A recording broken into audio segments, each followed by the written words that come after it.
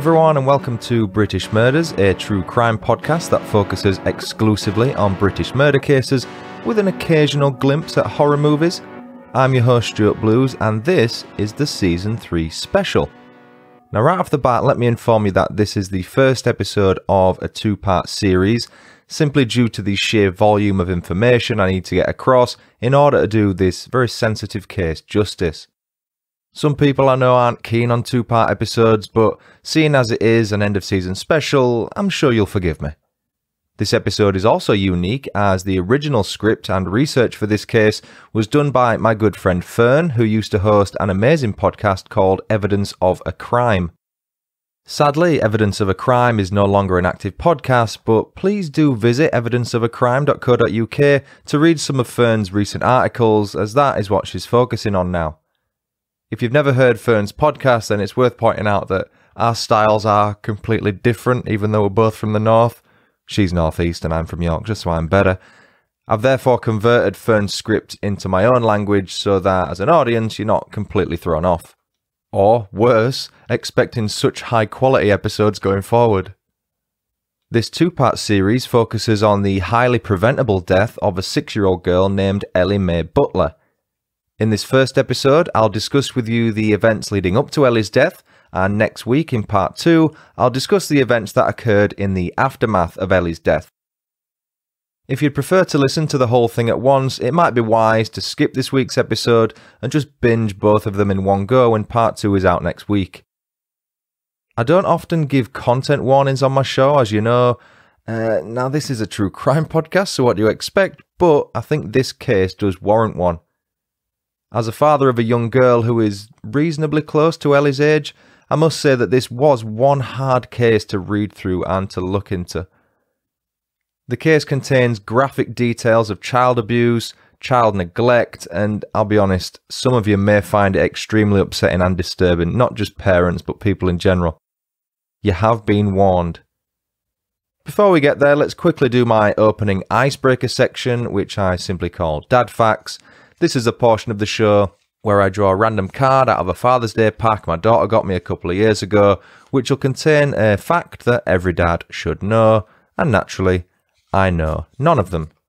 If you can hear me shuffling, it's not the best sound, is it? I'm sure you can. you get the picture. I shuffle the cards. It's not biased, like I'm going to cheat on this. Anyway, dad facts. Here we go. Week four, I think. This one says a Japanese toilet manufacturer once created a motorbike that ran on a biofuel created by human waste. oh, God. I mean, that takes gas station to the next level, doesn't it? Pumping for shit. Wonder how much that'd cost per litre. Jesus Christ. I mean, uh, let's move on. That's, these dad facts are, pardon the pun, shit. right.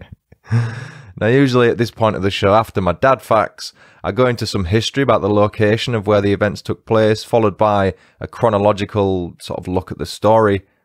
Remember, though, I'm using an adapted script here from a very talented storyteller, unlike me, for this two part special, so it may feel a little different to the usual nonsense content I provide. It's probably going to be a little bit better, a little bit more engaging. Hence, don't expect this quality going forward, please. The story takes place in South London, that's all you're getting this week. Now, how many times have you turned on the news and heard a story about children being separated from the parents on the back of unsubstantiated allegations? It's worryingly common. Typically, the parents who are able to be reunited with their children are unimaginably grateful that the nightmare has ended and they look to resume their lives as a family with serious lessons learned. In November 2012, a news story broke after Ben Butler began a relentless media campaign to win back custody of his daughter Ellie Mae Butler. Initial allegations of abuse from Ben towards Ellie were dismissed and his name was cleared, however, Ellie still hadn't been returned to his care. The British public saw Ben as a doting father and they showed sympathy for the circumstances he'd found himself in. Ben appeared on the British TV show this morning as a loving father who was desperate to gain back the custody of his daughter. He appeared to be someone who'd had his name and reputation tarnished on the back of false accusations, and the justice system had failed him. As the media campaign continued to gain attention, authorities began pandering to Ben. They catered to his every demand, basically in fear of repercussions from the general public. And as a result of this growing pressure, they neglected to think of the then five year old Ellie, an innocent little girl who was at the centre of it all. Let's take a step back though and look at the background of Ellie's parents, Ben Butler and Jenny Gray, who first got together in March 2006. Jenny was an aspiring actress and had appeared as an extra in well known British TV shows such as the police drama The Bill and the soap opera EastEnders. She eventually secured a graphic design job in central London after giving up on her acting dream. Ben, in stark contrast, was a violent criminal. Five years earlier, in 2001, he was sentenced to three years in prison for armed robbery and the intimidation of a witness. In the years following his release, he was twice charged with assault. The first incident involved assaulting a man in the street, and the second involved the assault of his ex girlfriend, who was pregnant at the time.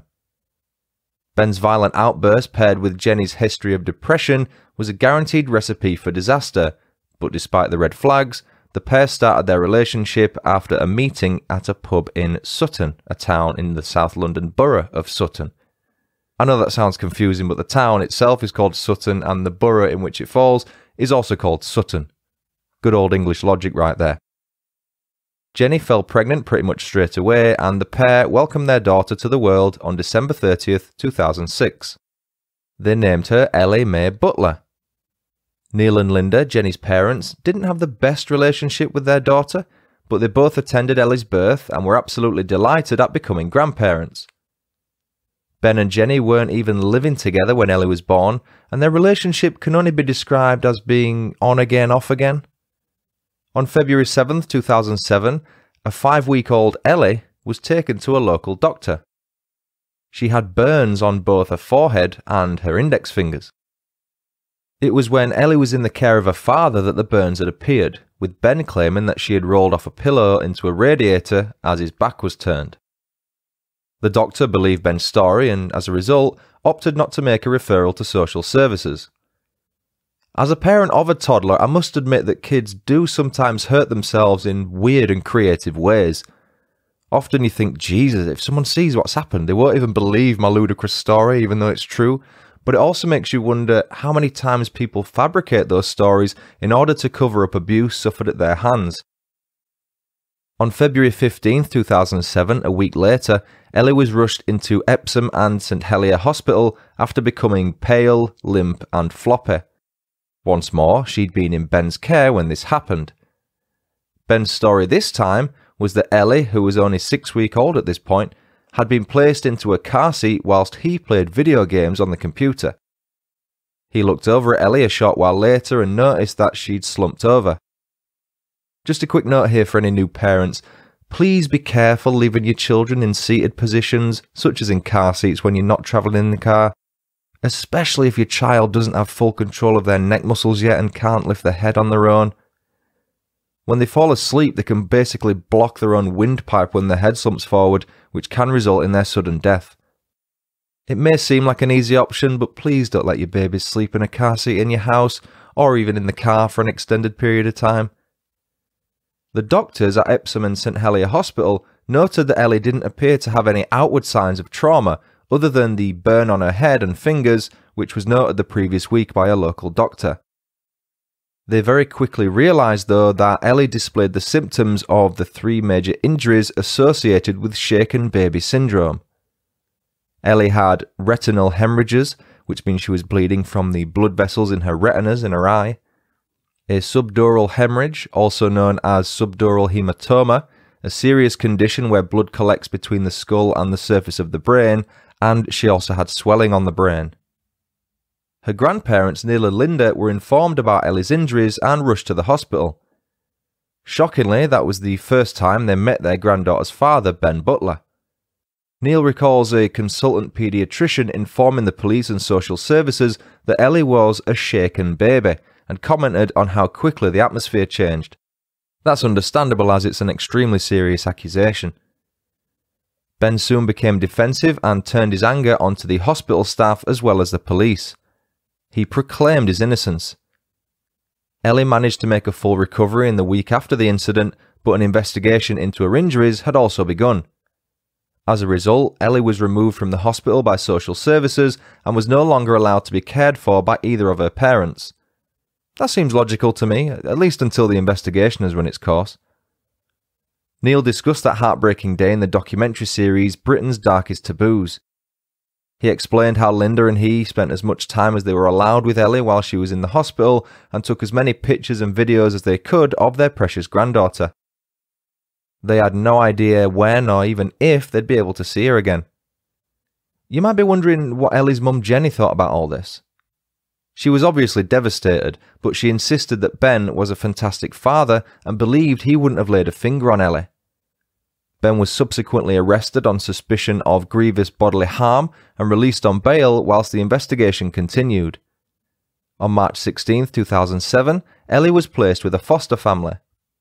Her grandparents were allowed to visit her once every two weeks, which must have been incredibly difficult for them to accept. It would have been even more difficult given that all contact with Ellie had to be supervised whilst the investigation was ongoing, and they weren't even allowed to hold her without being shadowed. They also had to sign in and out of a timesheet. Not exactly something you plan on doing as a loving grandparent. Over time, Neil and Linda developed a relationship with Ellie's foster family, and it became clear that they had nothing to do with her injuries. They loved Ellie more than anything else in the world. Neil and Linda eventually weighed up the possibility of them becoming Ellie's carers during the court process, a decision that was backed by both social services and Ellie's foster family. They were eventually granted custody of six month old Ellie on July 24, 2007. They were both confident they could take care of her despite both being 61 and were overjoyed at the decision. In the background, Jenny continued to support Ben and took his version of events to mean the truth, despite there being overwhelming evidence with regards to what had happened to Ellie. Jenny's suitability as Ellie's carer was further brought into question, not only because of her support of Ben, but because neither Jenny nor Ben visited Ellie when she was in the care of Neil and Linda. Between July 2007 and March 2008, both parents were required to visit Ellie separately as they claimed they still weren't living together. During that period, at least 13 visits were cancelled by Jenny, and many other times she would simply no show. Neil said that Ben would call them on the phone late at night, around 9pm, when Ellie was obviously in bed, and he would demand to go to their house to visit his daughter. Neil and Linda, of course, refused, which would result in verbal abuse and threats from Ben.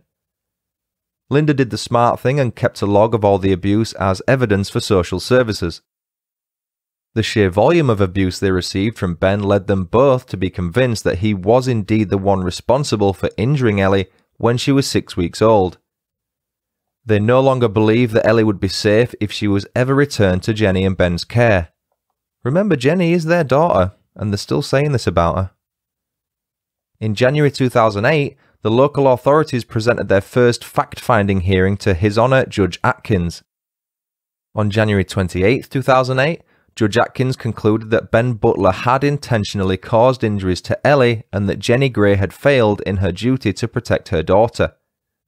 In March 2008, two months later, a consultant psychiatrist who had been commissioned to carry out independent psychiatric assessments on both Jenny and Ben reported his findings. He claimed that there were many inconsistencies between Ben's account of his assault on his pregnant ex girlfriend and the serious nature of the police findings. That suggested Ben was lying about what happened. Ben said he had a temper, but there were no signs of a mental condition that would affect his behaviour. In Jenny's assessment, the psychiatrist claimed that she was not currently suffering from depression or a mental disorder and that she had insisted that she was no longer intending to resume her relationship with Ben.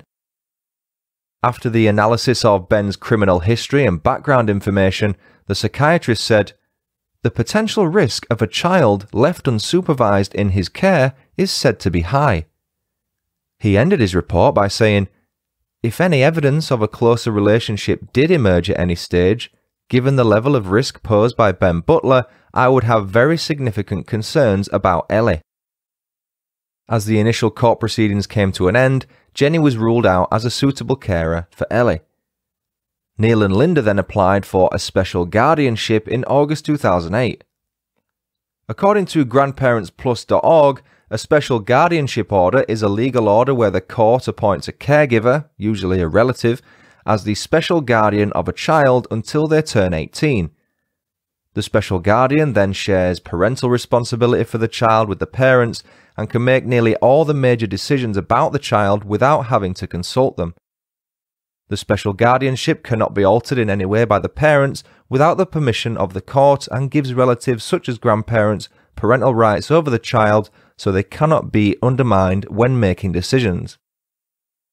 Neil and Linda were awarded special guardianship a short while later, and Neil says that they finally had some stability as a family, knowing they'd be able to see Ellie grow up.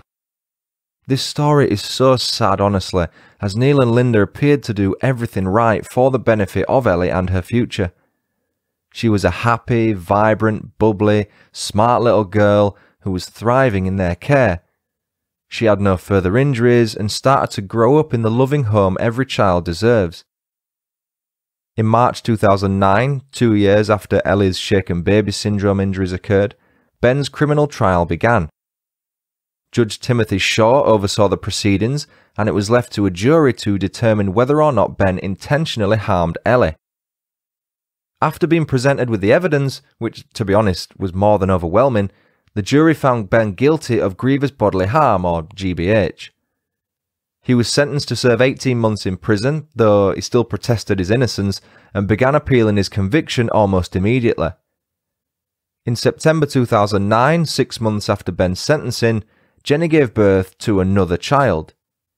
The identity of said child is going to remain anonymous throughout this two part series. Jenny concealed her pregnancy from everyone and eventually fled to Portsmouth in southeast England with a false identity in an attempt to retain custody of her new baby. A few weeks later, Ben was released from prison whilst his appeal was underway. On February 7th, 2010, Jenny was arrested in Portsmouth for, what do you think? Any guesses? Shoplifting. Probably from the pound shop. At the time, she was still using her false identity and had the young baby in her care. It took almost a month for authorities to track her down. It was noted that her six month old baby was found to be wearing filthy clothes and displayed signs of parental neglect. The child was removed from her care instantly and placed into police protection. These poor kids, man. It's worth noting during that time that neither Jenny nor Ben attempted to make contact with Ellie. The only people poor Ellie knew as parents were Neil and Linda, her maternal grandparents. Ben Butler's conviction was quashed in June 2010 by Lord Justice Moses on the basis of new medical evidence. Lord Moses, a Court of Appeal judge, claimed that Ellie's full recovery would not have been possible if she was shaken severely, and that the jury were not presented with enough evidence to consider an alternative explanation for her injuries. Lord Moses said, Nowhere in his ruling did Judge Timothy Shaw fully acknowledge the weight to be attached when discussing parts of the evidence. He described the judge making a continuance of misdirections to the jury and claimed, no proper direction was given to the jury that they must consider the possibility of an unknown cause and should only convict if they reject it. As a result, Lord Moses overturned Ben Butler's conviction. Ben, thrilled at being let off the hook, used his overturned conviction to his advantage and conducted several media interviews discussing how he'd been wronged. He also stated that he planned to take the police and social services to court for wrongfully accusing him. Ben said, It was horrendous. It's still difficult to talk about. They sent me to a vulnerable prisoner's prison. I was put with sex offenders. I never spoke to the guy I shared a cell with. It's like being put in a mental hospital when you're not mental. It was just a horrible, dirty feeling where everyone is on a different wavelength. These three and a half years are being horrendous. I can't believe that it's taken so long to clear my name. I can't believe so much money has been wasted on prosecuting an innocent person when there was so much evidence that it wasn't a shaken baby case. Despite his claims of innocence, Ben found himself back in court not long after his conviction was overturned as he pleaded guilty to assaulting a man in a takeaway. Jenny was then found guilty of claiming unemployment benefits whilst working. She had also been admitted to hospital 16 times in an 8 month period between 2010 and 2011 for a variety of injuries. Jenny also learned during that period that her youngest child was ill, but despite knowing this, she still didn't bother to visit. Although Ben's conviction had now been overturned and he was no longer considered responsible for harming Ellie by law, Jenny and he were still deemed unfit to care for their daughter due to the conclusion of the original fact finding hearing. Ben then decided to take on Neil and Linda in an attempt to regain custody of Ellie. He received legal aid of over £1 million to fight Ellie's grandparents, who she saw as her actual parents. Jenny and Ben accused Neil and Linda of not taking good care of Ellie, and they alleged Ellie was not dressed in the right clothes and that her diet was unbalanced. Neil and Linda had to use their life savings to fight their side of the story and to ultimately protect their granddaughter. Sutton Council Social Services were then removed from the case, and a private firm called Services for Children, with the number 4 in the middle, were brought in to assess Jenny and Ben's ability to look after Ellie. That decision was made to alleviate the hostility between local authorities, Ellie's grandparents, and Ellie's parents. However, it was the first major mistake. Services for Children, or S4C, a private firm, were totally unaware of the events that had taken place over the previous five years. They only had access to a limited amount of information during their assessment. S4C relied heavily on the narrative provided by Jenny and Ben, and as a result became hostile towards Neil and Linda. Not exactly an independent or unbiased adjudicator by the sounds, and extremely unprofessional. In an interview with The Guardian, Neil discussed the treatment and accusations he and his wife faced from S4C. He said, They told us that Ellie was doing too many activities at school and it wasn't good for her, and we tried to explain that the activities are what every normal little child does. The private social workers, S4C, continually criticised and tried to demoralise Linda and I, that we weren't doing a good job, and if we complained, we were troublemakers, and for that nearly 18 months we had all this. Social service were fighting us on one side, the parents was fighting us on another side, and at the end of the day, all that mattered, really, was Ellie. This continued and continued until we lost Ellie. Neil claims that at that point, Jenny and Ben hadn't seen Ellie for years.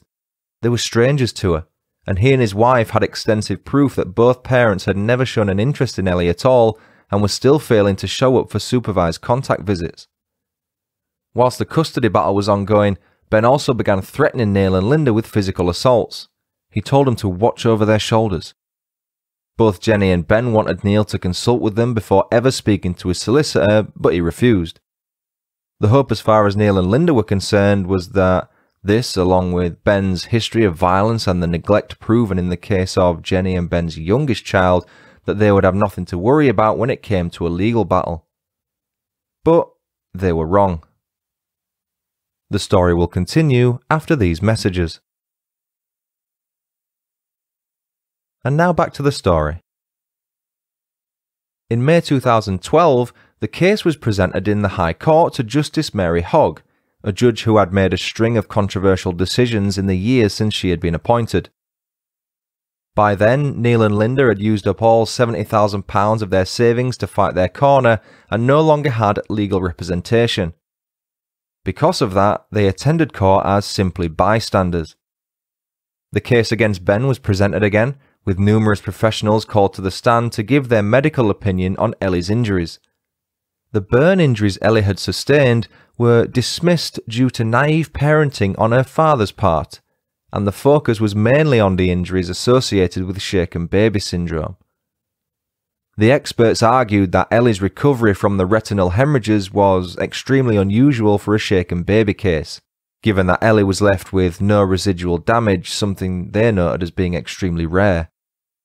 The medical experts also disagreed on whether the blood shown on Ellie's medical scan could have been fresh blood mixed with spinal fluid from shaking or from an old injury, possibly caused at birth, which had continued to bleed. An alternative theory was then presented by consultant psychiatrist Professor Fleming. When Ellie was admitted to hospital at seven weeks old, doctors noticed a cyst in the back of her throat. The theory was that the cyst, along with reflux, caused Ellie to stop breathing, resulting in her brain swelling. Professor Fleming argued that the sudden increase of pressure had caused the retinal hemorrhages and her father rapidly lifting her out of a car seat to place her on the bed may have caused the bleed on her brain. Much to his surprise, Neil was called to the stand to clarify his relationship with his daughter Jenny and her violent partner. Neil told the court that he hated both of them and was convinced they had intentionally harmed his granddaughter. The hearing lasted eight weeks, and as it came to a close, Justice Mary Hogg delivered her ruling. Are you ready for this? She said, I do not blame him for causing injury to Ellie, while I accept that he may have done so with all good intention to help her. I hope everyone will accept that I do not attach any culpability to him and that in my judgment he is exonerated from causing her any inflicted injury.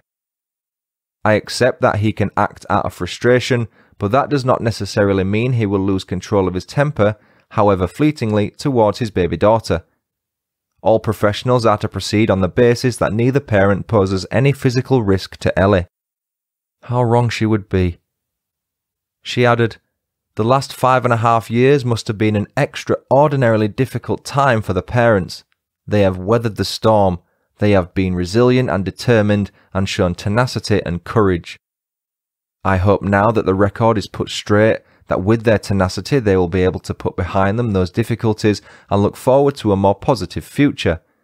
I wish the parents well. They too deserve joy and happiness. I can barely get through this, guys, honestly, it's a joke. It is seldom that I see a happy end in public law proceedings, it is a joy for me to oversee the return of a child to her parents. The story does not end here. There is still work to be done. No fucking shit, the story doesn't end here. My god. When you, honestly, I, I could barely get through that. When you hear what happened and you listen to those words by a High Court appeal judge, it's just embarrassing. Neil and Linda's special guardianship was now meaningless, and the little girl they'd essentially been parents to for the last five years was about to be returned into an environment which they both knew was unsafe and put her at severe risk of further harm. Neil said to Judge Hogg that he hopes she has a conscience because one day she will have blood on her hands. He asked for that comment to be placed on the record. Again, how right he would be, sadly. Neil and Linda were then stripped of their rights to an opinion on Ellie's welfare, and they were left completely powerless. Local authorities were then required by court to send out a formal notice of Ben Butler's exoneration to all agencies who were involved in supporting Ellie's welfare. Despite Ellie remaining in their care during that time, Neil and Linda were totally unaware. The letter stated the following Lady Justice Hogg concluded that not only was she satisfied that Ben Butler had never caused harm to his child, in fact, there was an innocent explanation for his child's suspected injuries. Services for Children then began trying to mediate between Ellie's parents and grandparents to make the transition of Ellie returning home as smooth as possible. That being said, the level of hostility between the two couples was growing at a rapid rate. Services for Children initially hoped that Ellie would be able to spend time in the custody of both couples, but they quickly realised that they would never come to an amicable agreement. Ben became increasingly frustrated at the lack of access to his daughter, and a plan was put in place to return Ellie to her parents and lone sibling as quickly as possible to protect her from any family tension. According to the serious case review, Jenny and Ben's youngest child was introduced back into the home slowly within the following weeks. The review notes that Ben was the leading parent for all of the introductions in the home due to Jenny attending a training course at work despite promising that she would free herself of all work commitments. Jenny failed to do so, and when authorities challenged her on why she was not around to welcome her youngest child home, she became evasive. Authorities also noted that the gas and electric was off inside the house and the youngest child's bed was not yet assembled. The youngest child was officially placed back into the care of Jenny and Ben on October 8, 2012. On October 19, 2012, 11 days later, Ben made his first official TV appearance on This Morning in an interview conducted by Irish broadcaster Eamonn Holmes and his wife and fellow TV presenter Ruth Langsford. Fun fact I've actually met Eamonn Holmes. My dad was on the National Lottery Jet Set TV show back in the day and he won a holiday to Zambia on his second attempt, though. Naturally, it was a couple's holiday, so I wasn't invited, but I'm not bitter. Not one bit.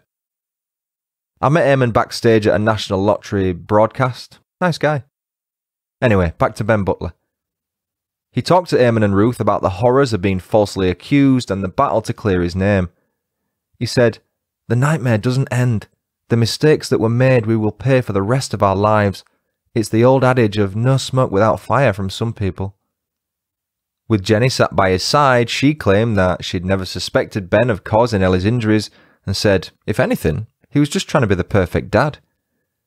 The pair spoke of how excited they were to be reunited with their daughter, and the compelling performance led to sympathy from the entire nation. In a post on this morning's Facebook page, members of the public left comments such as, The government make me sick, and they should be looking for people who hurt their kids, not this poor couple. Glad they won their kids back. Hindsight, hindsight, hindsight. This just proves that you shouldn't believe everything you hear and how crucial it is to wait until you know all of the facts before forming an opinion on something.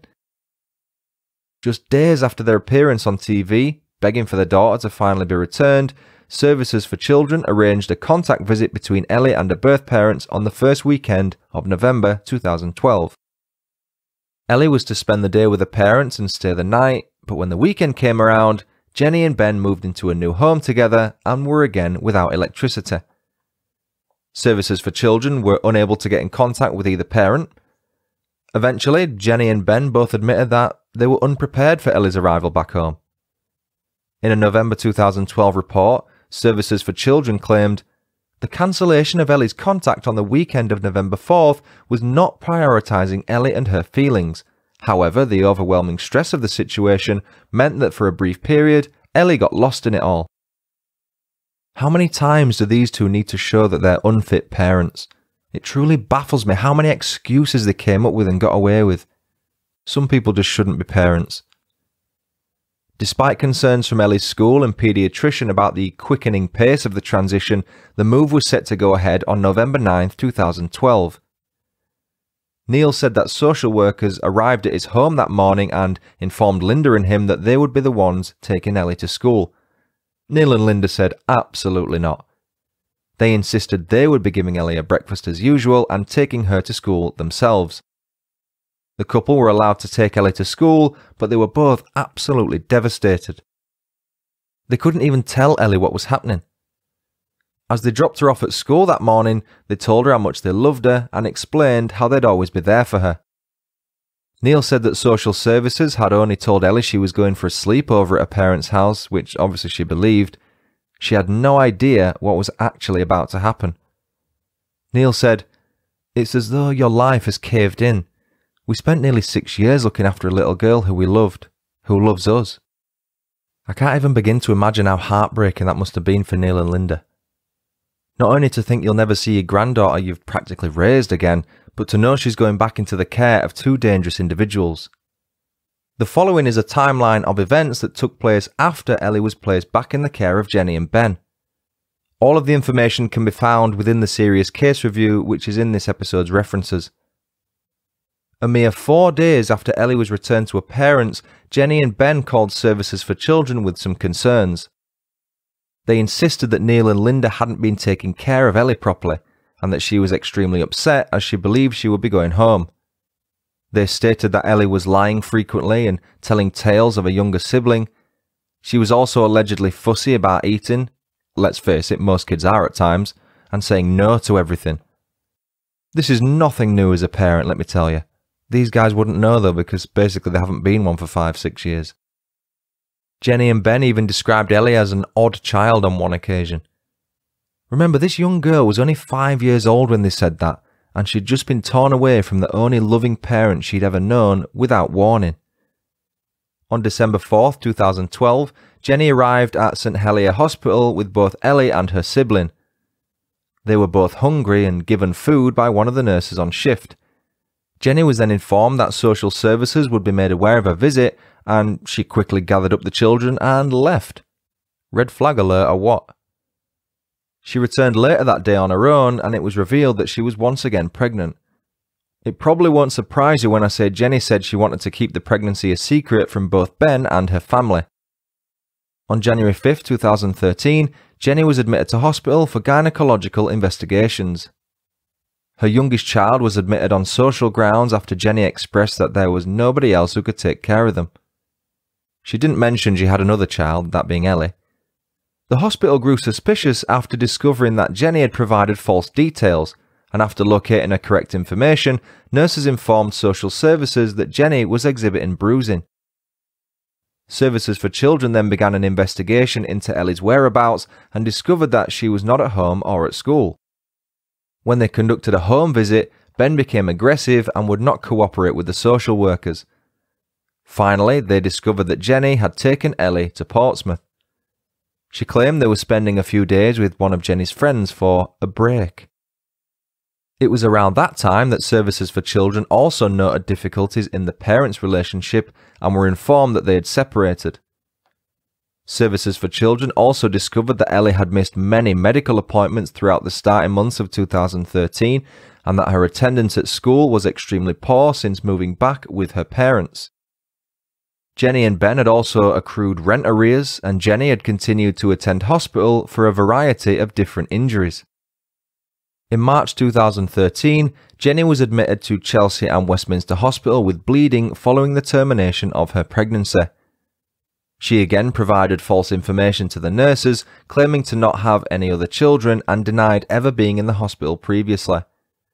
Fortunately, one of the staff members recognised her and alerted the police immediately.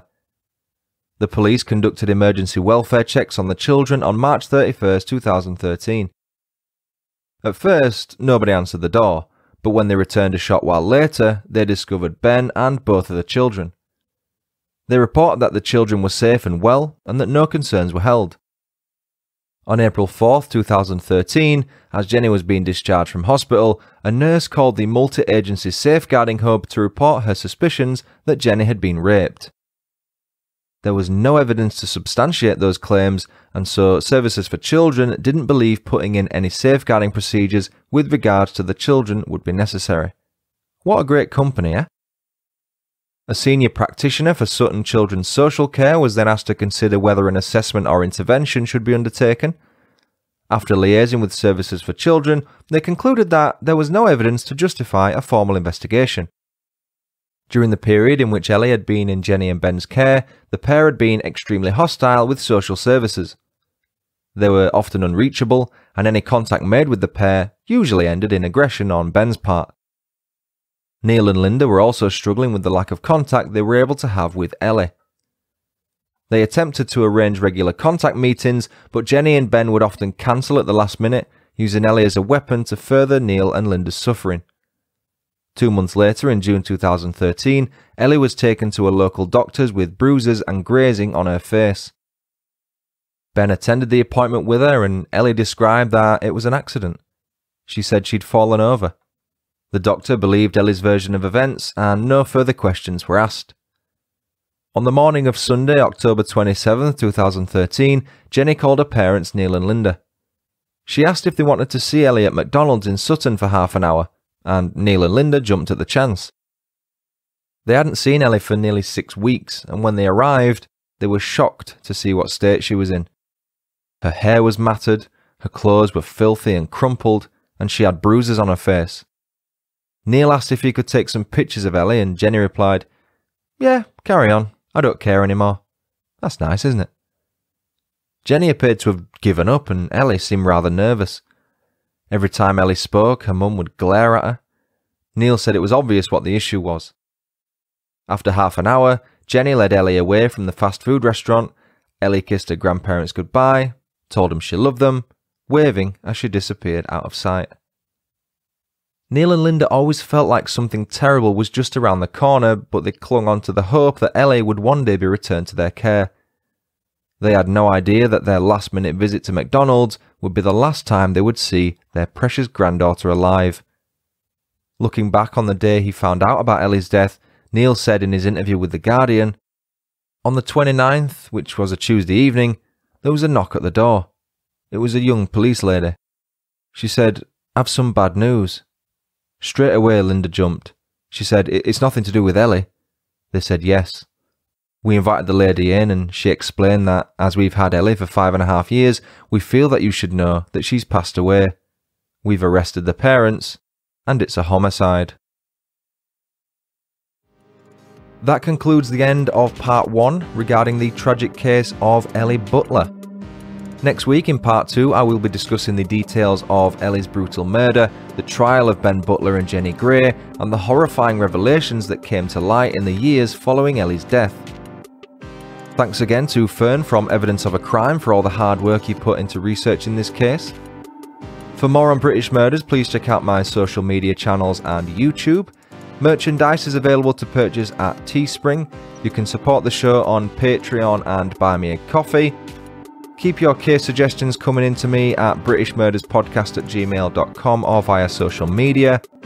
Thank you to everyone who submitted a case suggestion so far. I do plan to have them in my season 4, so if you do submit a case, I will put it in the seasons and I will give you a shout out as well, so please keep reaching out. And finally, reviews of the show can be left on iTunes and Podchaser. For now, I've been Stuart Blues, this has been British Murders, thanks so much for listening, until next time, cheerio.